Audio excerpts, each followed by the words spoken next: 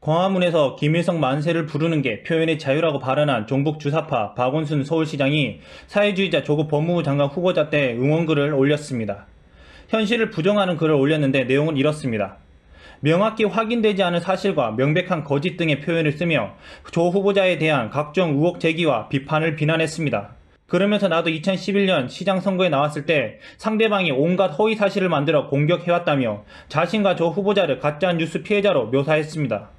박 시장은 조국 장관과 참여연대 등에서 함께 활동한 오랜 친구입니다.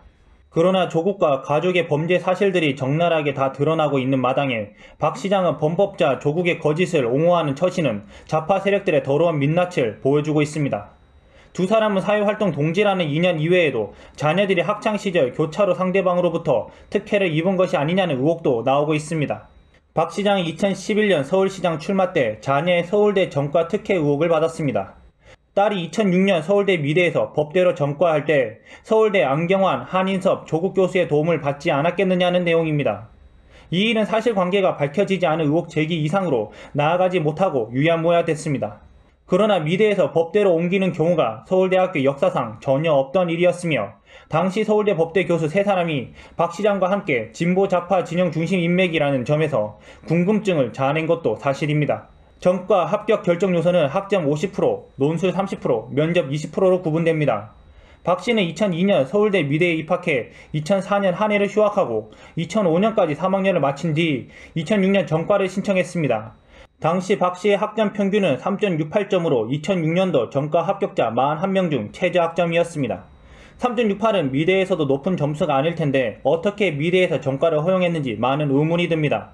강효석 변호사는 그 당시 10년간 연도별 전과 지원자 현황표와 2006년 지원자 관련 자료를 요청했으나 서울대 교무처장이 별다른 이유 없이 거절했다고 밝혔습니다.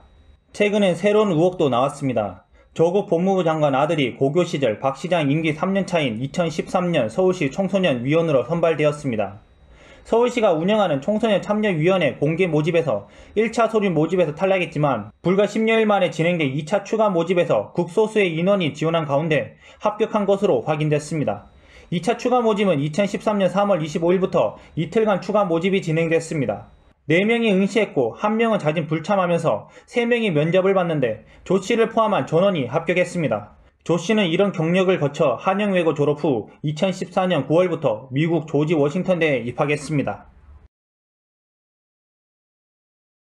서울시 청소년위원으로 선발되어도 매우 불성실하게 활동했다고 합니다. 하지만 해촉 사유에 해당할 만큼 불성실하게 활동하고도 수료증을 받았다는 사실입니다.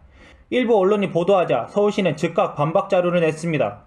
출석 미달이 해촉 사유인 것은 맞지만 참여 장려 차원이고 조 후보자 아들 말고도 과다 불출석 수료자가 6명 더 있다는 것입니다. 그러나 청소년위원회에 선발된 조 후보자 아들이 19차례 회의 중 15차례를 불참하고도 성실히 참여한 청소년들과 똑같이 대우받았다는 사실이 예사롭게 보이지만은 않습니다.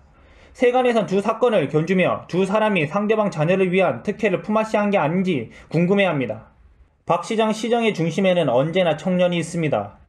청년층에 대한 박 시장의 애정은 각별한 수준을 넘어 유난스러울 정도입니다. 현금 복지 논란 속에서도 청년 수당 제도를 도입했고 청년들 집 걱정을 덜겠다며 서울 곳곳에 공공임대주택을 짓고 있습니다.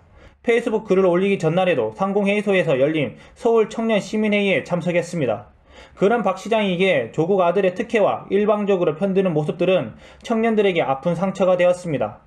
좌절하고 분노한 청년들의 생각과 감정이 완전히 동떨어진 모습이었기 때문이며 박 시장과 조국 자녀들이 쌍방향 특혜를 받았을지도 모른다는 의혹이 제기되기 때문에 더욱 그렇습니다. 이번 일로 박 시장의 청년 사랑은 거짓 쇼였다는 것이 확연하게 증명이 되었으며 박 시장에게는 정치권의 자기 사람, 범법자 챙기기가 우선이었으며 청년이라는 구호는 자신의 정치적 입지를 굳히기 위한 정치적 도구밖에 되지 않았습니다. 좌파들의 이권 문제에서는 양심이 전혀 작동하지 않는 박 시장의 실체입니다. 박원순 시장의 아들 병력 문제와 딸의 입시 비리 문제가 속히 수면 위로 드러나 그에 상응하는 처벌을 받길 간절히 소망합니다. 이상입니다.